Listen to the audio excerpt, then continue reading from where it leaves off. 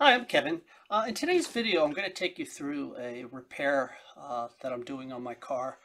Uh, some of the symptoms that uh, my car was experiencing was uh, the engine was running very rough and uh, I had a flashing check engine light, which is more serious than you know just a steady check engine light. So I have a Durametric diagnostic uh, software program and uh, cable for, for Porsches. So I connected the uh, the uh, uh, the, the cable to the OBD port, and the code that was coming back was P00010, and it, basically what it says is that what it means is the camshaft position sensor has no communication. So looking into it, the camshaft position sensor. There's one on each side of the flat six engine here. So on the passenger side, it's towards the, uh, let's say the front of the, uh, of the engine. On the driver's side, it's towards the rear. So it's, it's not an expensive part. Uh, it's actually less than $30 for the camshaft position sensor. And, uh, but it's, it's, you have to take off quite a few uh, pieces here. So you got to take off the skin of the bumper, the bumper.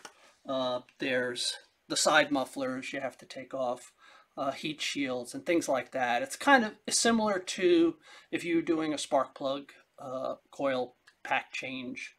Um, so anyway, let me let me show you uh, where it is. That's the camshaft position sensor out. And inside here, you can see uh, that that's actually that's actually the uh, the camshaft that you're seeing inside the engine. Hi, so after replacing the camshaft position sensor and uh, putting the uh, the mufflers on, starting up the car, uh, the engine was still running rough. Adjacent to the uh, camshaft position sensor is the uh, Camshaft uh, adjuster solenoid. It's a component which uh, also sits, let's say, bathed in oil. Uh, it's electronically operated solenoid uh, that feeds oil under pressure uh, to this actuator here. And this uh, alters the lift on the intake valves. if you look, you can see this is quite corroded. And, you know, this is the, uh, the solenoid from the other side, and it's fine. But, you know, it's, it's a good idea to replace these things in pairs.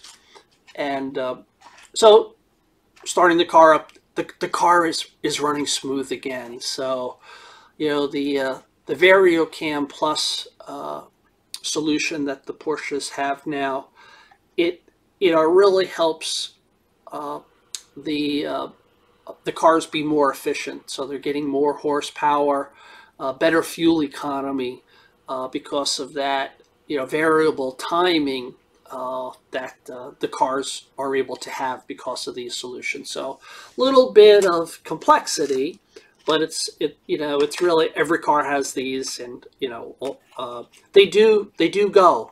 these are components which can fail, and you know, it, looking at, at the heat shields on my car, I they, they were completely rusted out. So in a way, I'm not surprised that uh, this solenoid, which sits right there, uh, exposed, it, it, it failed. So anyway, I hope you found the video helpful and uh, see you soon. Take care. Bye-bye.